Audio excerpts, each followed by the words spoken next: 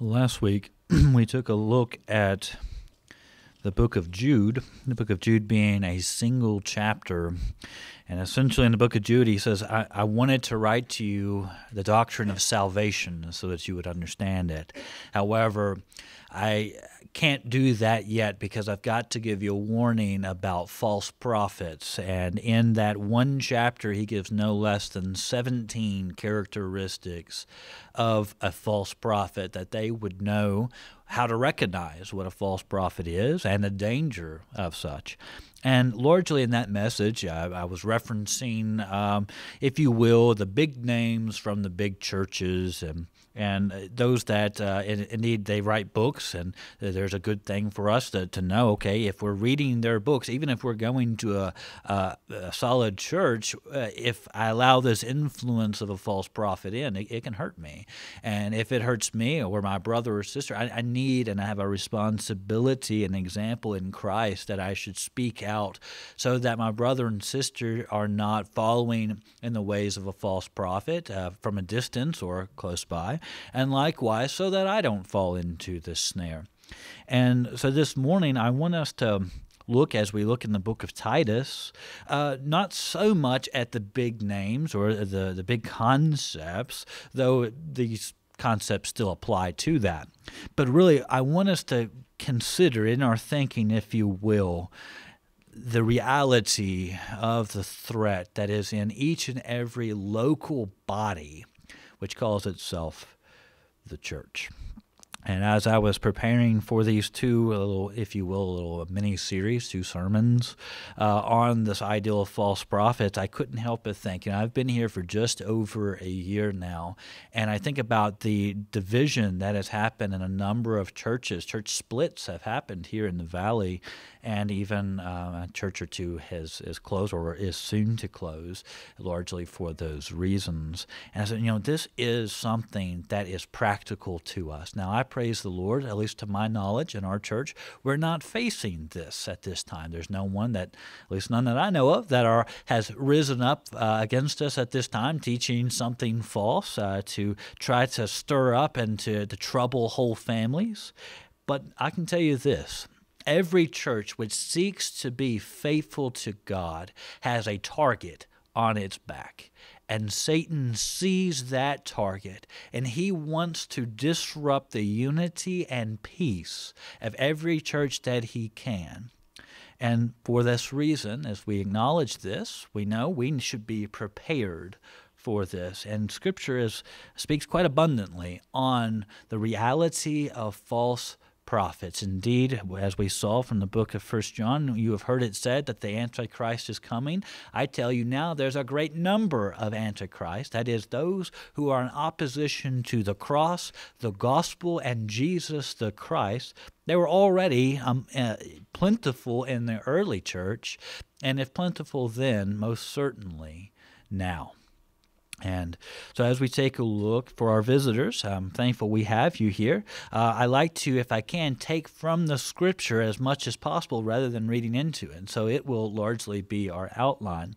You may notice in the verses that I've chosen, I've left out verse 12 and verse 14. So, why did you do that? Well, it's because it was a, the cultural thing. It doesn't have any major impact on our message, but because it is cultural, uh, it was going to take quite a bit of explaining and might have caused confusion. And I have seven points this morning nine points would have been pushing both my voice and our time here. So I'm um, not afraid of those verses. Those verses are, are good for further study uh, and certainly do not undermine any of the points which we'll be looking at, but uh, they can cause confusion unless they've got quite a bit of explanation. That is the reason for not addressing those. We've got quite a bit already to address, but just to sum those up. Um, uh, with this, it, there were false teachers which were teaching, and particularly there were what's known as Judaizers. That they were Jewish people that had said uh, that they had come to Christ, uh, and but they were promoting both circumcision and Jewish ceremonies as being required in order for a person to uh, either be saved or to be sanctified. So they were being uh, uh, the Apostle Paul was writing against this. So, with that, uh, let's get a bit of context. Titus was the name of a pastor of an early church. The Apostle Paul is the writer of the book of Titus, and he was writing to the pastor to say, listen, this is what you need to know. This is what you've got to be aware of. And I'll tell you this, brethren, if pastors in particular, and Christians as well, because we know Scripture is not just for pastors, it, written to the church and to a large degree for us as well, then, uh, even as uh, those that are not pastors. He was writing to say, You've got a problem in your church, and you need to address that problem. You need to address it in an appropriate way, and here's how you do it. Because if you don't do it, Satan is going to rip apart your church, and it's going to hurt. And brethren, I can tell you, if you've ever been a part of a church split, I've been thank- I'm thankful I've never been a part of one, but I've seen the aftermath of one. The director of missions, my second Sunday, uh, second summer of uh, just get, going in and being a fill-in pastor in Kentucky, they don't have enough pastors. Uh, they've got churches where people need to be because they're really small and they're in hollers and nobody can get to them unless you got a four wheel drive and they just don't want to do that. So you know, we we went, and he he guess he thought it would be funny to put me in the midst of them about two weeks after a major split. That was a fun summer. Um, but I can tell you, if you've ever been a part of one, a church split is is not something that is fun to go through, particularly if you invested your heart into that. And brethren, that's that's my desire for us this year. You know, I spent the first year presenting the gospel, and I'm going to continue to do that as long as the good Lord uh, allows me to stand in front of, of a congregation. Is that I would present the gospel in its pure and undefiled way as much as possible. But this year, I also want to focus on us not just being, uh, you know, the typical church. I want us to be a family bound by Christ, bound in Christ to one another. For we have a common faith and salvation, if indeed we are of the Lord. I tell you, you invest your heart in that, and then that get ripped apart. That hurts. That takes a lot of time and a lot of prayer and a lot of counseling to get over. And Satan desires to hurt Christians as much as he can.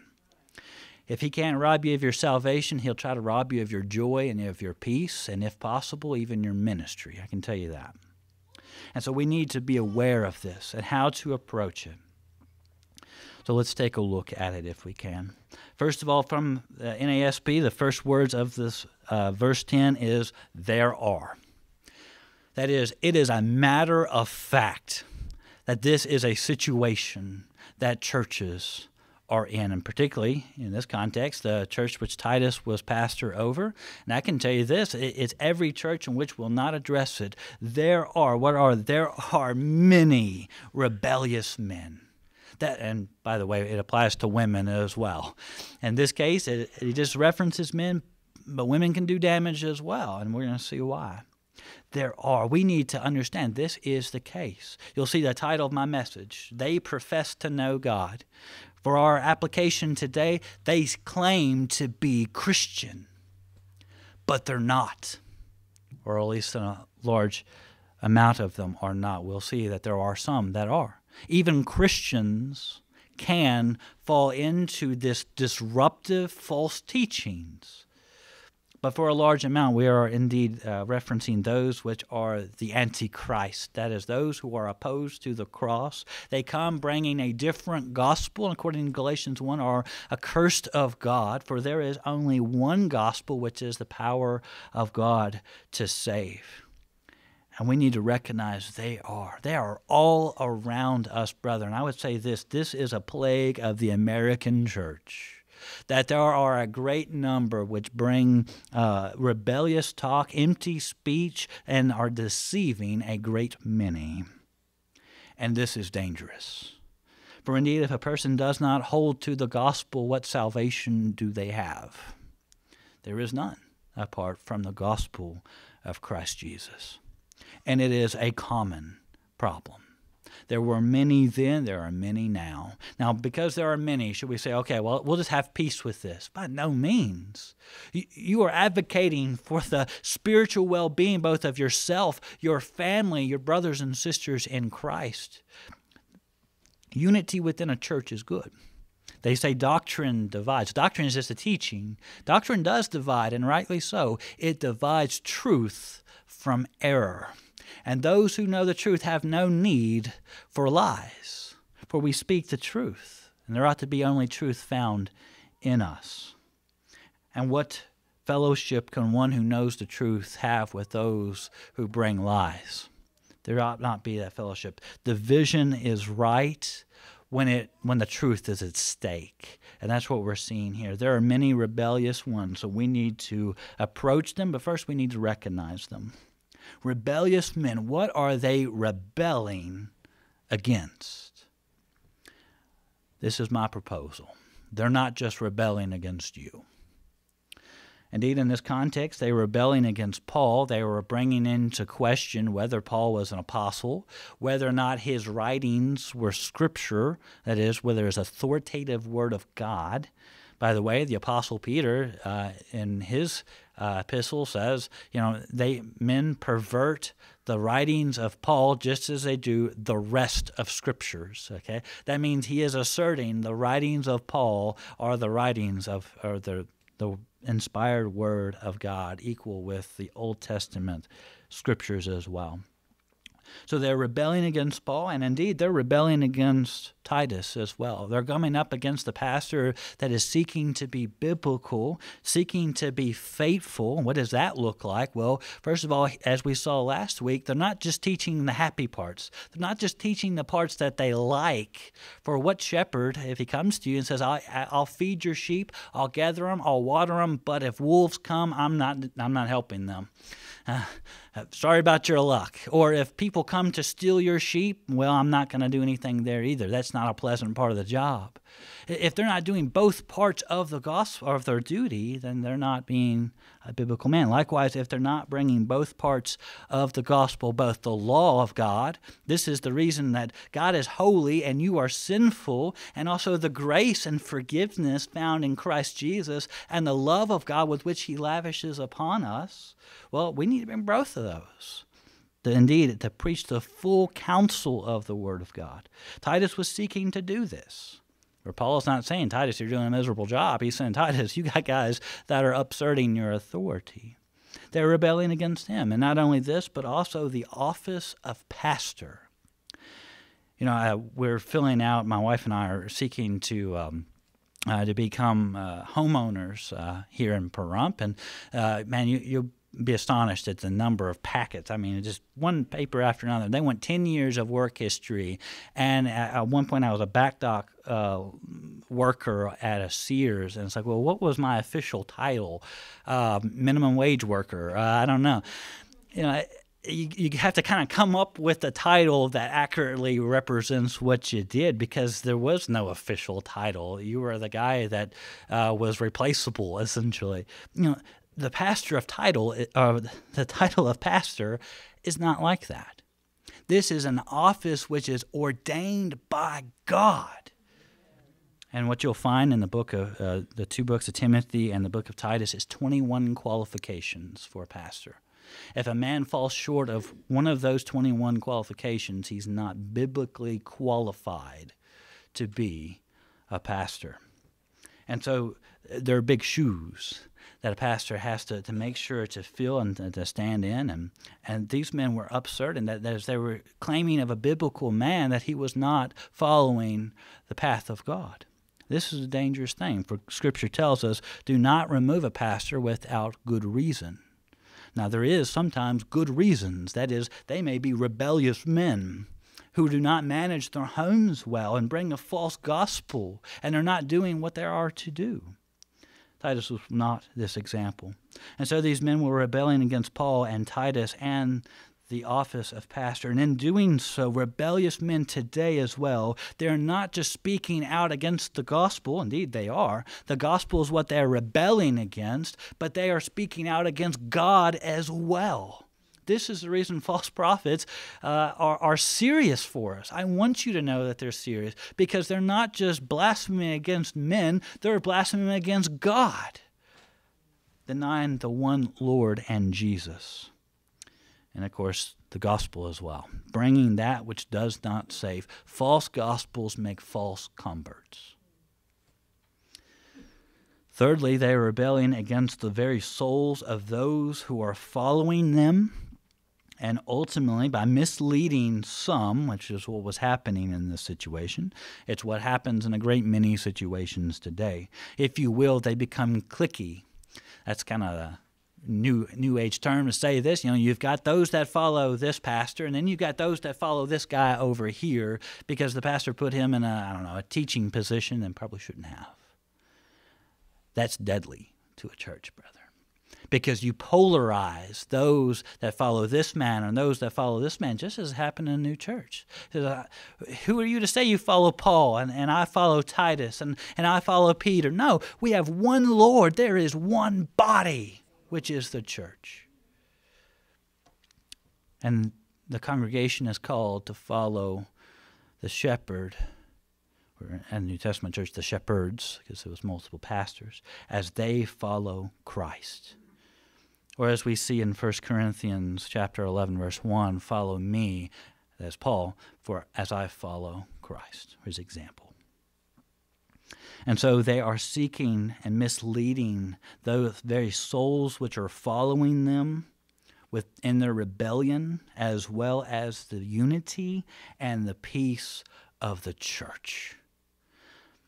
Consider this, if you will. Such men desire such power that they are willing, if someone walks in, that the church be disorganized and fighting against itself. So that when an unbeliever looks, they say, well, There's no unity, there's no peace here. This is what Satan wants. You have an enemy that is not of flesh and blood, brethren. Our church has this enemy, as does every church in this valley, if it seeks to be biblical. He seeks to tear apart this unity that the church would have no impact. Lastly, they are ultimately rebellious men who are rebelling against their very own selves. That is, they are walking blindly down a path of their own destruction. What characterizes these men? How do we know them? Jesus says, You will know a man by the fruit which he bears, if he is a good tree or a bad tree. Likewise, you will know a ravenous wolf by what he teaches and by the way which he lives. In this immediate scripture, we are told these men are empty talkers, they are deceivers. They are teaching things which they ought not teach. And they teach with the, the motivation of gaining, as it says here, sordid gain. They are defiled in all which they do because of this motivation. They are unbelieving. Both their mind and their conscience are defiled, so that they cannot even follow their own conscience, which we'll see in a little bit. They claim to know God, but by their deeds they are denying his lordship, being detestable in their nature as well as their actions, being disobedient and ultimately being completely and totally worthless for any good deed. Now you may say, "Well, that's man, that is really harsh to say." There, we don't talk that way uh, nowadays. Uh, well, God's word does, and so we need to, as well. This is the danger. It's not that we should put up with rebellious men or women, those which would disturb a church, which would bring a false teaching, because ultimately they're not going to have any good. You, you put up with someone hoping that their potential would come out. But that's not going to happen in this case, not unless the Lord grants repentance. I want to hit on a few of these to place emphasis. That is, first of all, and do not be fooled, the title of Christian does not qualify anybody to teach, nor should we really read a whole lot into it nowadays. Indeed, uh, even at the Balloon Fest this weekend, a man, walked up. They had talked uh, with the people that were doing the booth, uh, and they said, "You need to talk to our pastor." And he walked up and he said, "Okay, uh, so you're uh, an evangelical Christian." Yeah, yeah. Evangelical just means we evangelize. We, we go forth speaking the word, fulfilling the Great Commission. Yes, sir. Which is odd. It's, it's terrible that you even have to qualify that. For every Christian has the Great Commission. We see this in Scripture. But there are those that claim to be Christian, would say we don't need to evangelize. That's not for us. But I said, yeah, you know, I, am a evangelical Christian. We're a Southern Baptist church. And he's like, okay, what do you believe? What do you teach? You know, the reason he had to ask that is because you, you can look at the Christian faith, unfortunately, at least those that are under that title, and you can find just about any type of teaching that you want to find. This is what this is where Satan has brought the church because they have submitted to his influence. Now, I'll tell you this it is under the sovereignty of God that this has happened. For God gives to people false prophets because they desire to hear and have their ears tickled. It is not that any man has walked into any church apart from the sovereignty of God.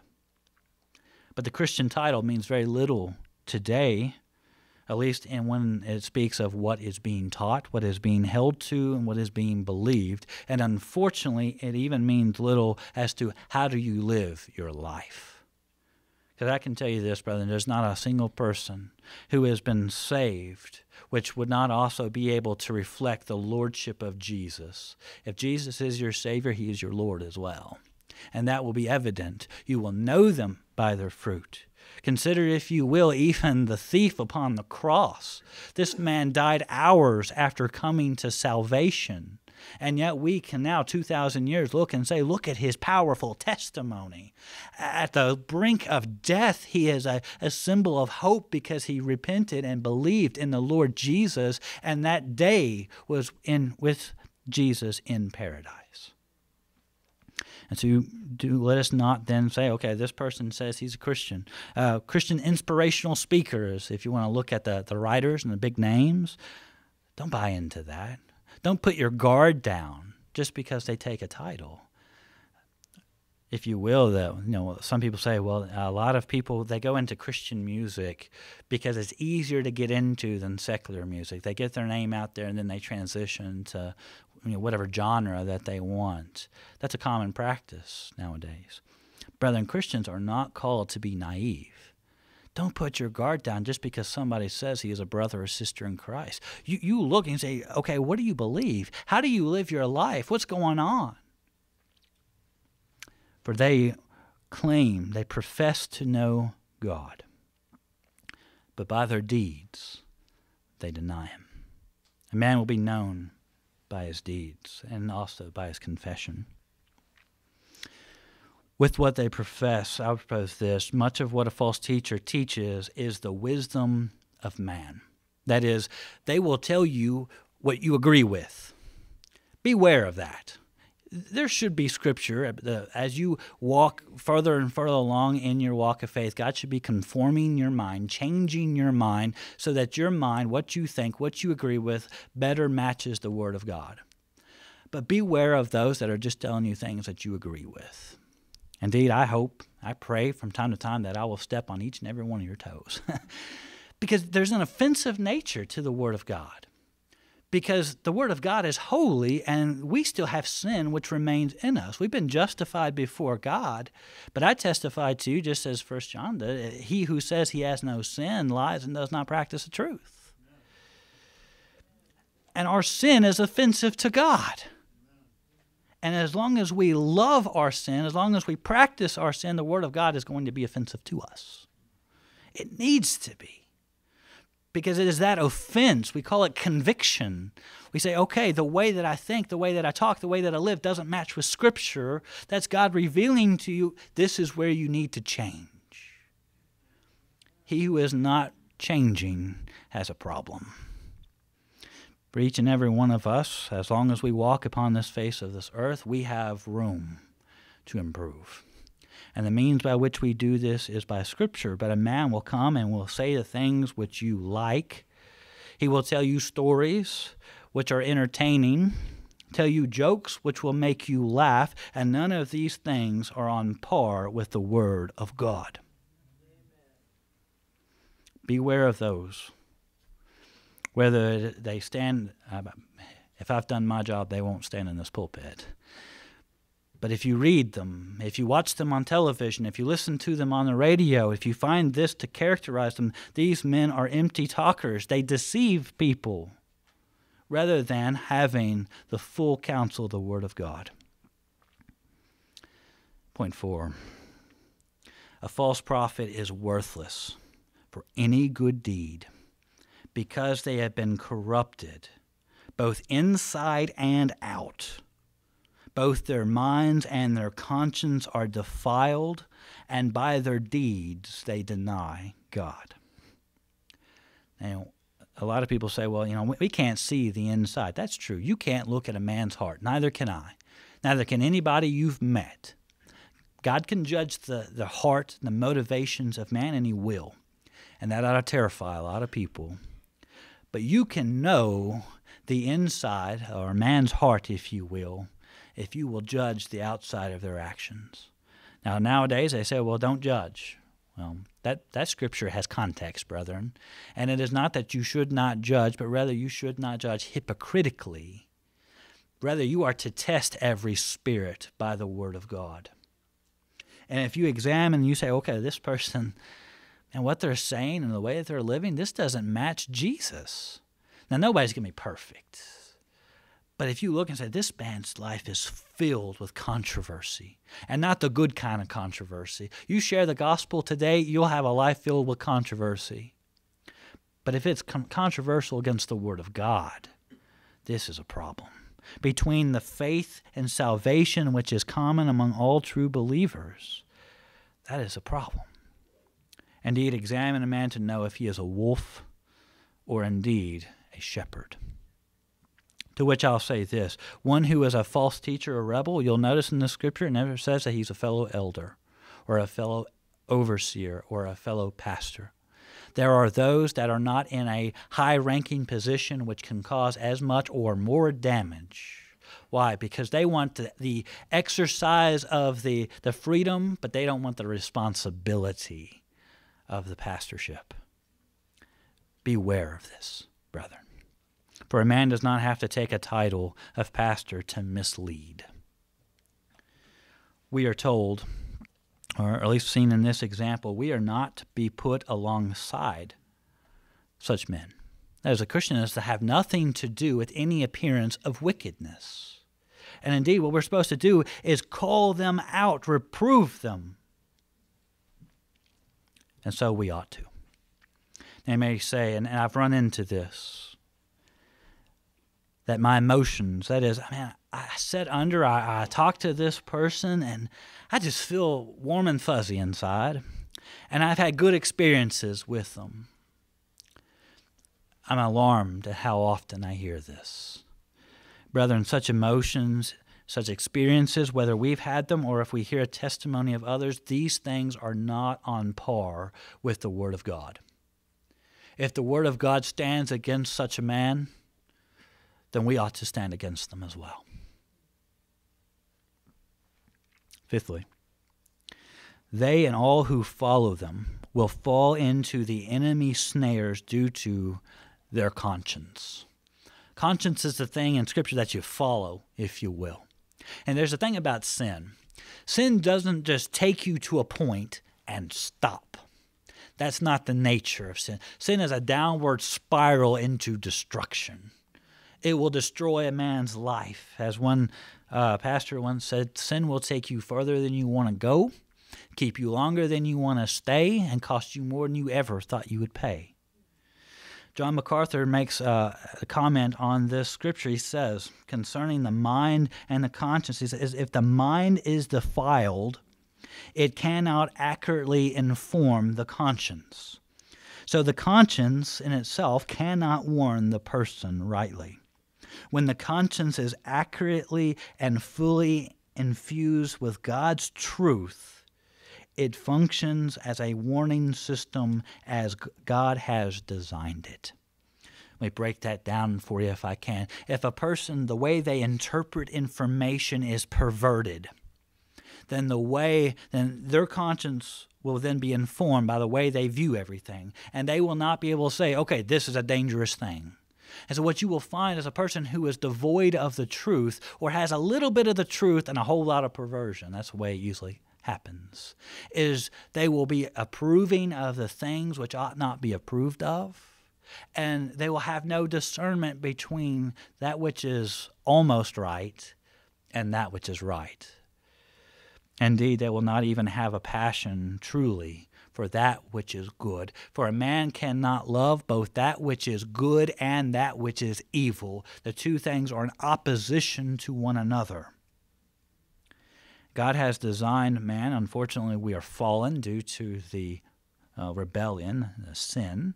But He has designed a man's conscience to be an early warning system. It is only when that conscience is informed by the Word of God, and by this, I don't mean some personal revelation or somebody wakes up and says, okay, God told me this this morning. No, God's Word is what is being referenced here. That which is never changing. It's not something that's private, though it is personal, because it is there for each and every person.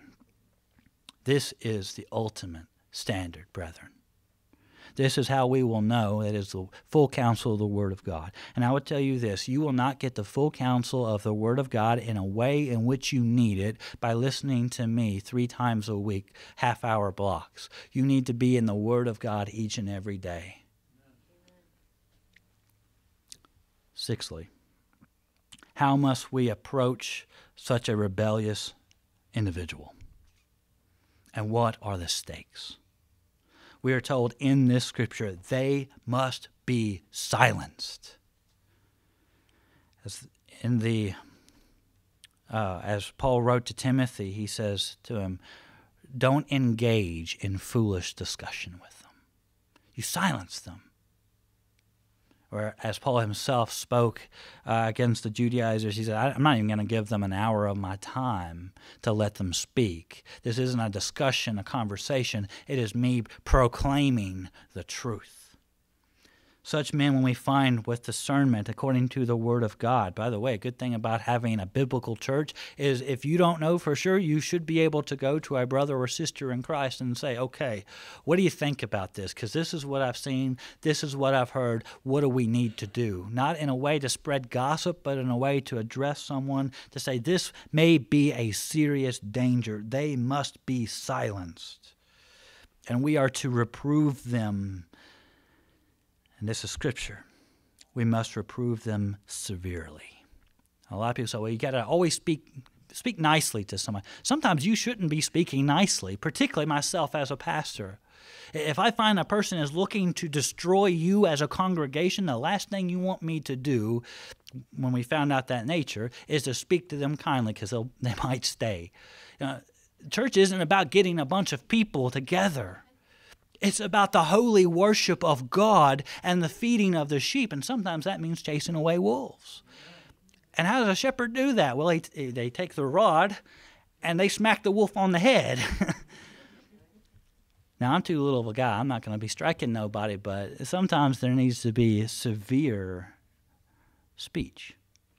And by this, I do not mean that which is wicked.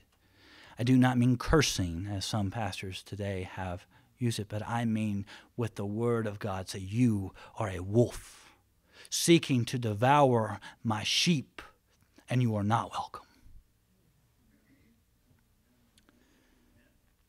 This is what is necessary for the health of a church because we labor against forces that seek to destroy us.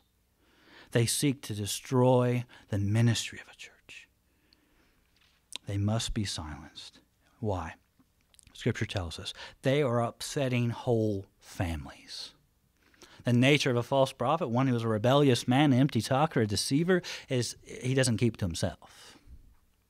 He wants to lead others. And the way he'll do this is he'll go into one uh, uh, individual of a family and he'll introduce this false teaching.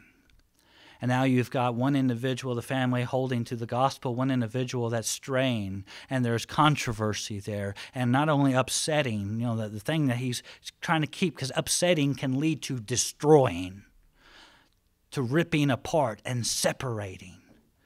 And, brethren, I tell you this there is a false um, statistic that people will say, if you check up on it, you will find that it is false. The divorce rate within the American church is not equal to that of the rest of the nation. The rest of the nation a few years ago was 50% uh, divorce rate. So half of people that get married would get divorced.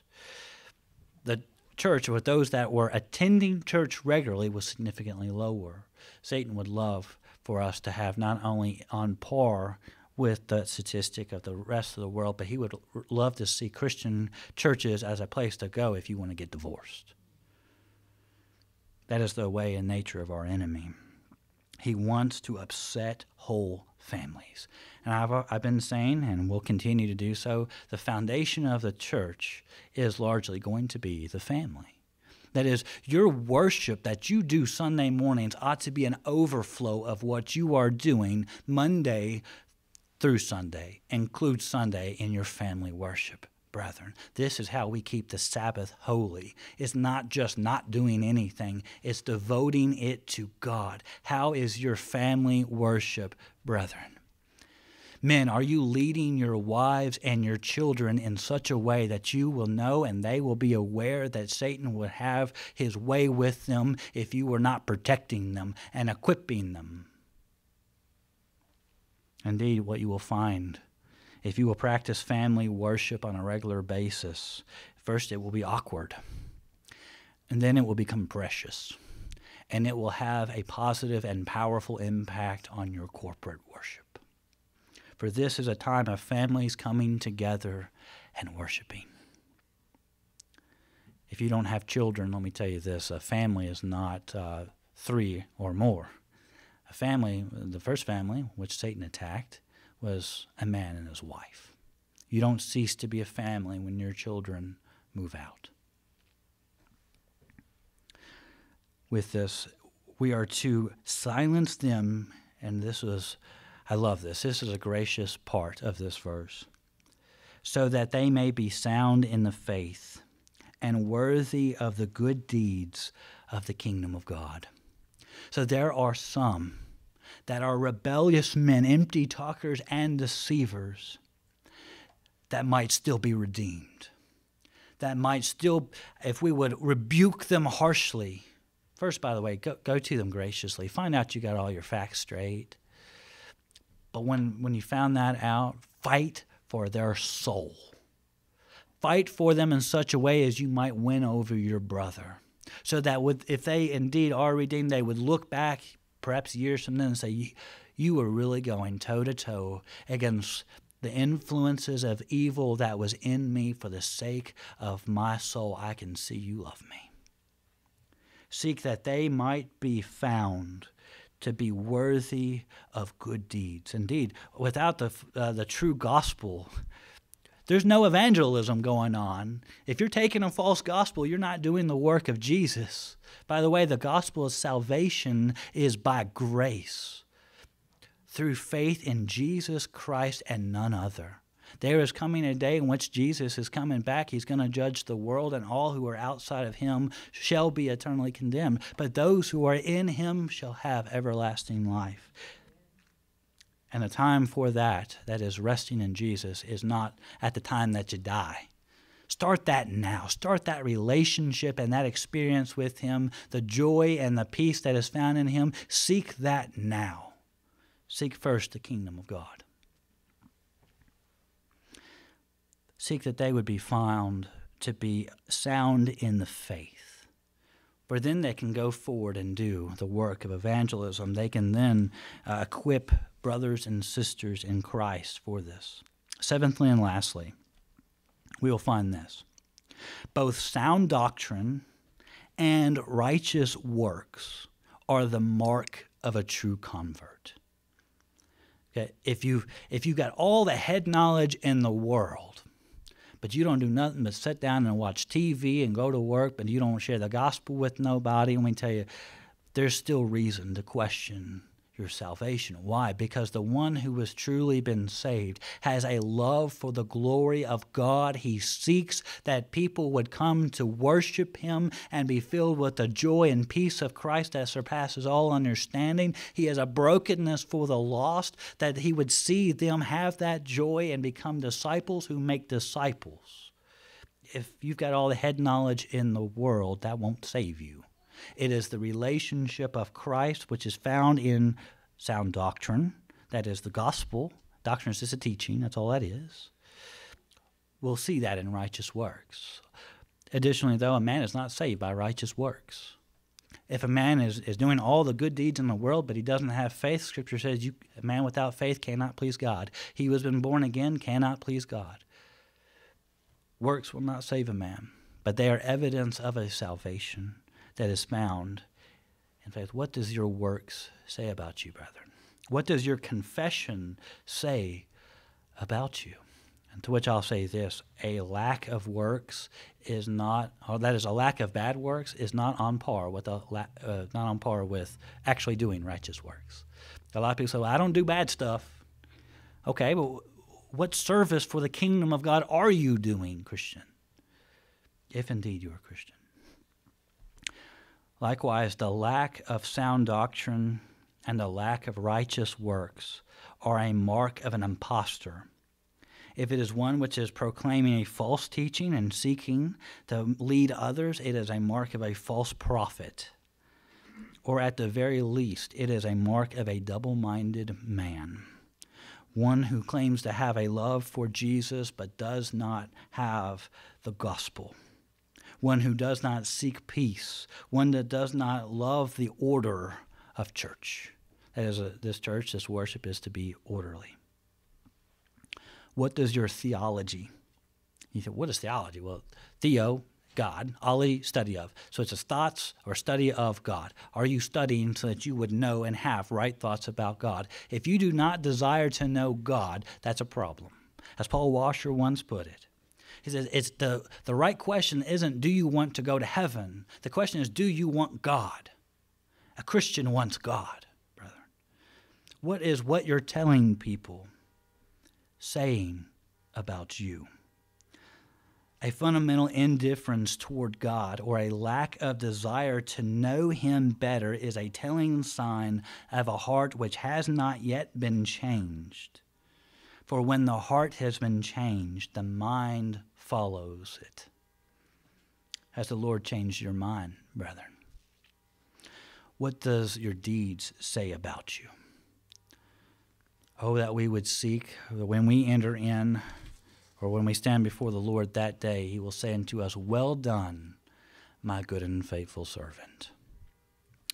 If you've not yet come to know Jesus as your Lord and Savior, if your confession, your thoughts about God have reflected this, if your lack of seeking salvation of the lost and, and promoting the church and furthering the kingdom of God, if they reflect this, if you believe that you've been chased, uh, that you've been following, if you will, uh, false prophets, if you don't have a discernment from truth from error, let me tell you, this very hour, let this hour be the hour of salvation. May this hour be the time which the rest of your life changes, and more importantly, your whole eternal destination changes. It can be. Romans 10 tells us, He who believes in the Lord and confesses Him with his lips, believes with Him upon all of his heart, he shall not be disappointed, but shall be saved. The salvation is from the wrath of God, according to Romans 8, 8 or 1 18 the wrath of God that's poured out upon all unrighteousness. It is a salvation from the sins which have held you captive. Jesus says that he who practices sin is a slave to them. That is, that you would be redeemed and go forth and sin no more. Not that any of us walk perfectly, but that you would struggle and labor, labor with the flesh victoriously. For the book of James tells us if you will draw near unto the Lord, he will draw near to you. Resist the devil, and he will flee from you. This is a promise only for those in Christ Jesus and none other. May this time be a time of, of transformation for us, brother. If you will, please join me in a word of prayer.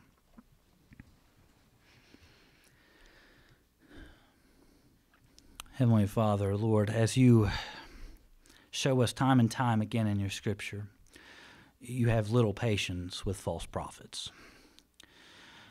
Our Lord Jesus called them hypocrites. He said that you are whitewashed tombs. The outside, they look nice, but on the inside, they are uh, a mess of spiritual depravity and death. Lord, we must confess, apart from your grace, we would be in this condition ourselves. Apart from your Spirit guiding us in accordance with your word, Lord, we would have no wisdom nor discernment. But your word testifies that he who seeks wisdom, may he ask it of the Lord, and that you would grant it to us abundantly. Lord, we seek your wisdom this morning. Lord, I ask that you would remove false prophets, that you would remove their books from our library, that we would no longer watch them on television, that we would not stand their words upon our radio, that we would not be fooled by the title of Christian, but rather that we would, with discernment, seek to understand a man's heart by looking at his actions and listening to his confession. Lord, I ask that if we find that his actions and confessions do not match that of the common faith and salvation which the church truly has, that we would reject such a one. And Lord, if they're in our midst, I ask that we would approach them first by grace, that we would follow your word, that if they won't repent of their sin, that we go to them with another brother or sister. If they still will not do this, may we take them then before the church. And Lord, I ask that you would grant repentance to those within this valley that are rebellious men, empty talkers, that are deceivers. They are seeking only their own profit. Lord, your word testifies that he who gains this world is forfeiting his soul. What profits a man to do such? But rather, Lord, I ask that we would seek the kingdom of God, that we would be satisfied in you for we know that you are able and willing to provide us with all that we need, and that you are greater than any and everything which this world offers. Indeed, Lord, what this world offers is temporary. It promises satisfaction, but ultimately ends in disappointment. And he who follows it ends in destruction. So, Lord, I ask that you would grant salvation this very morning that your Spirit would come upon someone to change their hearts. You would give them eyes to see and ears to hear, a heart to believe for your word is true. And we rest upon it. As in these things I pray in Jesus' name. Amen.